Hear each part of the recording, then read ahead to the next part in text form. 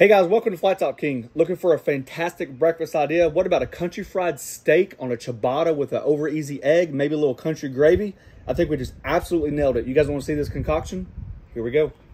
Alrighty, to get started, let's talk about the list of ingredients. We did the breakfast enchiladas uh, a little while ago now, and I mentioned that I tried to get a sauce, and I could not get it because it was out of stock. Lo and behold, I went back to my grocery store, and there it is. So, got it. So, I'm anxious to try that. All right country fried steak breakfast sandwich. We got a country fried steak. We have our ciabatta buns. I just thought that chew might hold up to the weight of the country fried steak. We're going to grill some onions. We got our uh, flour and eggs and hot sauce for our batter. And I am going to make a very small amount of white gravy, no meat, nothing like that, like a cream gravy, just because I feel like gravy and country fried steak go together. Okay, very simple, put an egg on it, and uh, call it a good breakfast. You guys ready? Yep. Let's go. I know you've been excited to try that sauce ever since you found their W sauce. Yeah, their W sauce is good. Oh yeah. Here. Whew.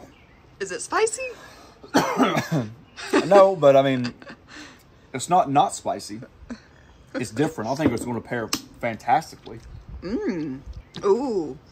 Got a little back end heat. Yeah, it's almost yeah. But that is good flavor. Yeah. Fresh, bright. That's speaking my language. All right, here we go. First things first. We have this uh, country fried steak out of a ranch in Colorado. They sent us some meat to try out. So we're trying it out. This is the same country fried steak we did on our Southwest country fried steak. So if you can imagine, I'm just trying to square it up with the size of our ciabatta bread. So make several pieces out of this. Or just three. some thirds. Probably. Yeah, okay. I'm going to go ahead and season the meat now, along with the flour.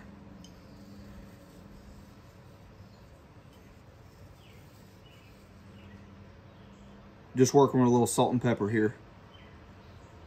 And then I'm gonna come back and just touch it up with some garlic.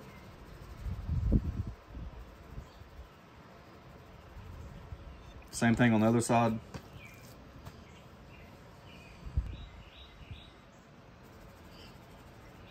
We're going to dredge it two different times. We're to do flour, egg, then flour. So I'm just going to use the same flour dredge in here. So I'm just eyeballing it.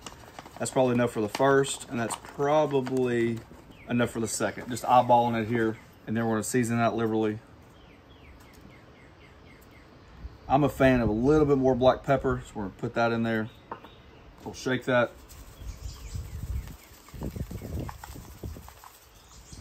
Clean bowl, two eggs.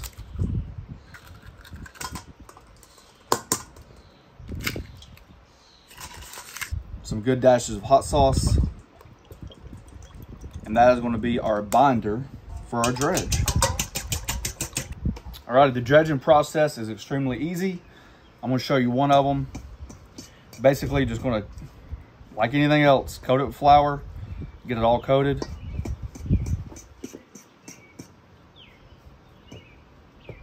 Shake off the excess. Eggs.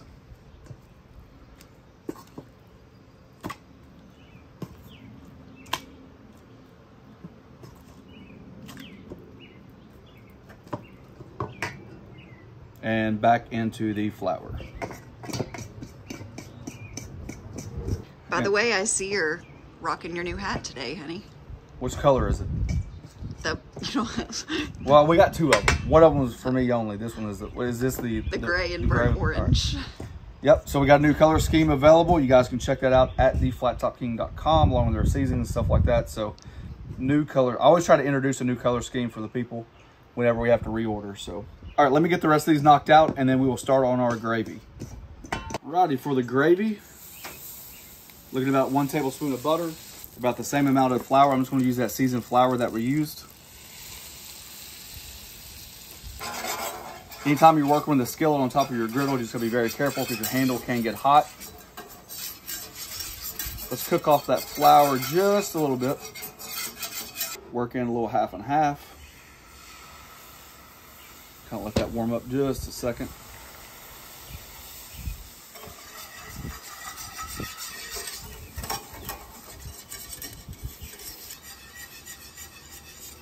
All right, you want to start seasoning. A little salt. Remember, this will thicken up on you. And of course, I like a little thick pepper in there. And that looks about done to me. Taste, taste, taste. Peppery, just maybe a hair more salt. And that should be good. Set this to the side. Now we can start working on frying that steak. See how that's funneling that way? So we're gonna use that to our advantage for the second spot.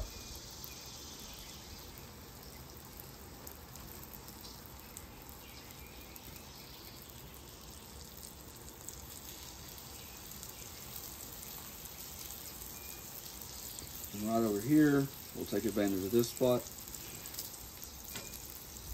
Let it heat up, heat up, heat up.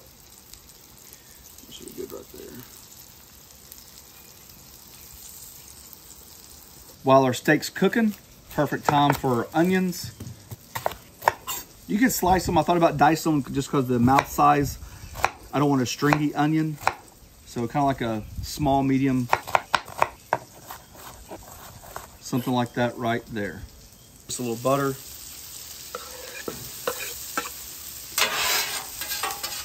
Ooh, smells onions- good already. Yeah. I just thought steak and cheese. You got your steak right here. You got your uh, onions right here. So kind of like works in the same theory. Doesn't mean it's right. Just sounds good to me. Just taking a little softened butter, putting that on ciabatta so we can get a good toast on it.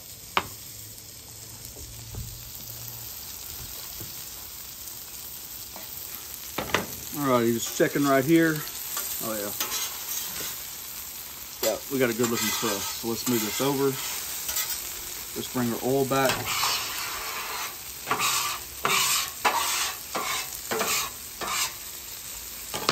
Basically just creating a new landing zone.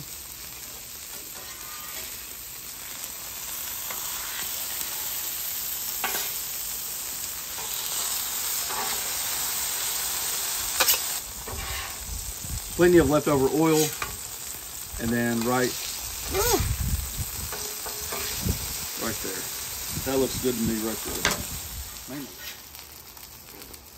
All right, we'll pull our steaks, let those rest a little bit.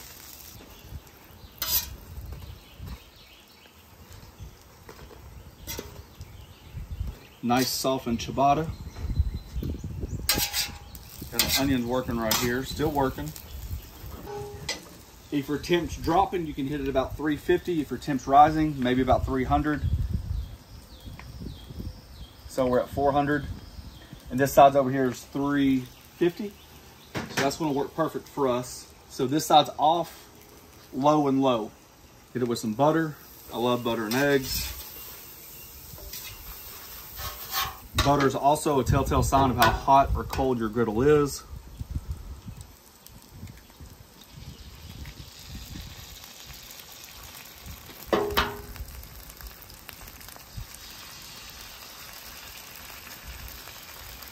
Hit those eggs, we'll shake that. Salt, pepper, garlic, and butter, just to mirror those themes.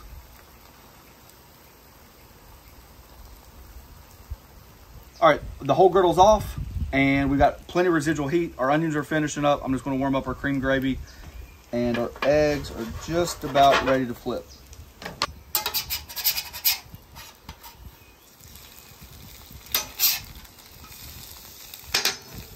I'm gonna build both exactly the same. So the idea is this.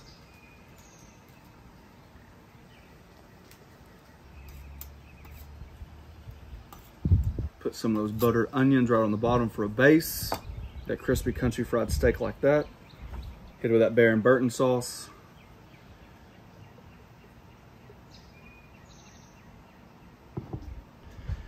Top it with an egg.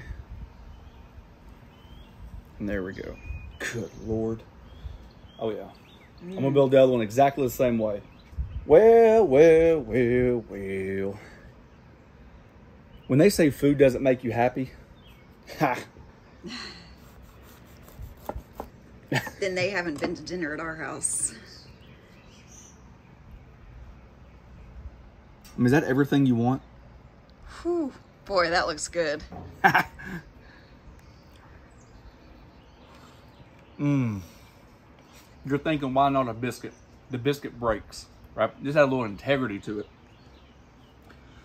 Be careful on your seasonings. I think as long as you season lightly the whole way, the seasoning builds up. So just be careful about that. And other than that, that is here. Let's see. Put your mouth around that one. Good Lord mercy. Now chomp down. Now don't be pulling the meat out. God. Mhm. Mm-hmm. Mm. Mm. Mm. Mm. Mm. Boy, that is darn good. It's like the perfect balance. That's what you were gonna say? That might be the breakfast sandwich of the year. It's super good. I really like the addition. I knew it would. I just looked at the ingredients. Um, about the breakfast sauce, I went online and heard what it was about. Uh, like I said, we liked the original one, so we thought to give it a try. Um, I thought that the enchiladas, looking back, would benefited from something like this because that acidity, and I think this does because it cuts through the fat of the steak. So that is, I'm gonna enjoy it. That's super good. If you guys are interested, hit that join button down below. It's a membership program. We thank each and every one of you for taking time for doing so. Check us out on Instagram where we share your stories, share your food, share all the things that you guys give us because you guys are making what we're cooking and we absolutely love it. Thanks for watching. Don't forget to press that subscribe button, pound the notification button, share it with your friends. Breakfast sandwich of the year. I would probably agree with you. Mm. That is darn good. You use like leftover gravy to dip it in. Or sauce. Mm. That is super good. Put more sauce on it.